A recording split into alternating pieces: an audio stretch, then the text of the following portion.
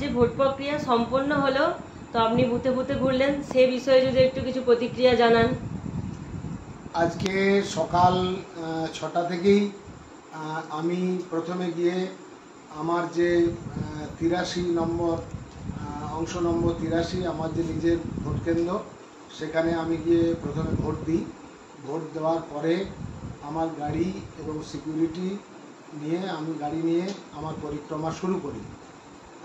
প্রায় পঁয়তাল্লিশটা বুথ আমার জয়পুর থানা এবং কতুলপুর থানা মিলিয়ে কতুলপুর বিধানসভা ক্ষেত্রে দুশো ছাপ্পান্ন আমি পরিক্রমা করেছি। বুথে গিয়ে আমি প্রিজাইডিং অফিসার, পোলিং পার্টি এবং আমার যে পোলিং এজেন্ট যারা ছিলেন তাদের সঙ্গে আমি কথা বলেছি।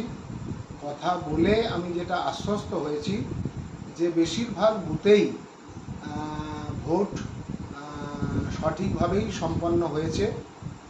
কিছু কিছু বুথে বা অধিকাংশ বুথে তৃণমূল কংগ্রেস তাদের যে ভোটের নিয়ম কানুন বিধি যা আছে সেটাকে লঙ্ঘন করে একশো মিটারের মধ্যে অবৈধ জমায়েত করা এবং হুইসপারিং ক্যাম্পেন করা আর এগুল ভোটার যারা তাদেরকেও ডিসেবল বলে তাদের ভোট দান এই রকম কিছু ঘটনা আমার চোখে পড়েছে।